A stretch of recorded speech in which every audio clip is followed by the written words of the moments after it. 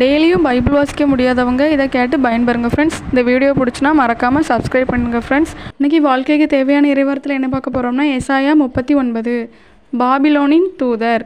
அக்காலத்தில் பாபிலோன் மன்னன் பலாதானின் மகன் மொராதாவுக்கு பலதான் இசேக்கியா நோய்வாய்ப்பட்டதையும் அவர் குணமடைந்ததையும் கேள்வியுற்று அவரிடம் மடலையும் அன்பளிப்பையும் அனுப்பி வைத்தான்.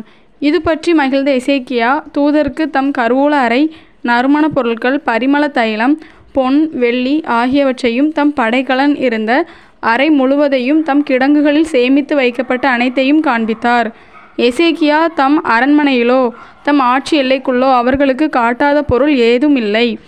அப்போது எசையா இறைவாக்கினர் எசேக்கியா அரசனிடம் வந்து அந்த ஆட்கள் என்ன சொன்னார்கள்? எங்கிருந்து உம்மிடம் வந்தார்கள்? என்று வினவ அவர்கள் தொலைநாடான பாபிலோனிலிருந்து என்னிடம் வந்தார்கள் என்றார்.